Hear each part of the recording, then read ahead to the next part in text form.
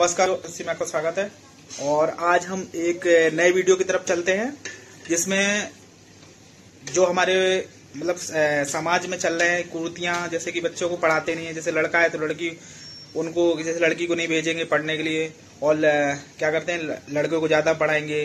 तो उस चीज़ पे हमने एक छोटा सा वीडियो बनाया तो आप लोग इसको देखें, और एक बार कमेंट ज़रूर करें, क्या ये सही है या गलत है। तो प्लीज़ कमेंट ज़रूर करना। धन्यवाद। अब चलते हैं वीडियो की तरफ़।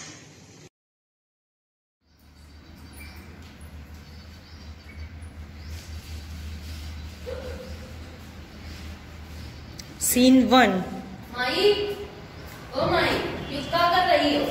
पापा को स्कूल में होमवर्क मिला तो वही कर सारा दिन होमवर्क करे और बर्तन धुल रही है जाओ बर्तन धो के वो होमवर्क करने के बाद। बर्तन धो पढ़ लिख के डीएम नहीं बन रही हो? दूसरे घर का जाओ पहले बर्तन धोला के फिर पढ़ाओ आगे।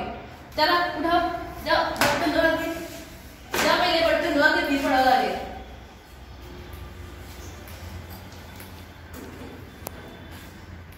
सीन टू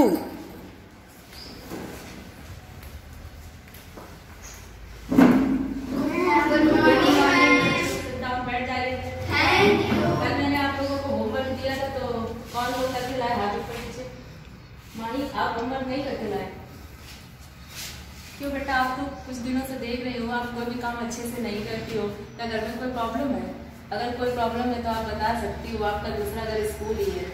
क्या करें मैम पापा मुझे पढ़ने नहीं देते जब पढ़ने बैठते तो मारते हैं कभी क- कापी फेंक देते हैं कहते हैं कि पढ़ लिख के क्या डी बनना है तो बहुत गलत बात है। चलिए मैं आपके माता पिता से बात करती हूँ।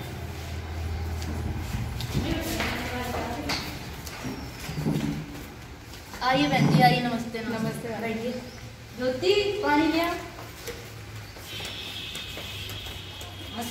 सीरियसली सीरियसली आपकी बेटी माई पढ़ाई में बहुत अच्छी है और इससे पता चला है कि आप इसे पढ़ाई नहीं करने देते हैं। बताओ बहन जी हम लड़का का पढ़ावन की बिटिया का पढ़ावन इनका जब काम कर पे का कापी किताबें लेके बैठ जाती है।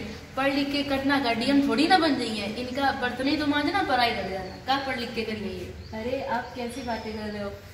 ये पढ़ाई में बहुत अच्छी है और ये आगे जाके आपका नाम रोशन करेगी। आप इसे पढ़ने दीजिए आत्मनिर्भर बनने दीजिए। बात तो आप बहन जी सही कह रही हो ठीक है कल से फोकस करिए इसके ऊपर। नमस्ते बहन जी। कल से स्कूल भेजेंगे अब पढ़ लिख के कुछ आपके तरह कुछ लिख पढ़ लिख के बन जाएगी। सही है आप इसे मुझे स्कूल भेजिएगा। और मुझे पता चला है कि आप इसे मारते भी हैं। काम नहीं करती तो नहीं मानना पड़ रहा है अब इनका नहीं पड़ी भी आपको पता नहीं है कि मानना कानूनन अपराध है और आप इसे पढ़ाई से वंचित नहीं कर सकते। ठीक है अब इनके फोकस करेंगे। आपने देखा बच्चे पढ़ाई के नाम पर कितने खुश हैं।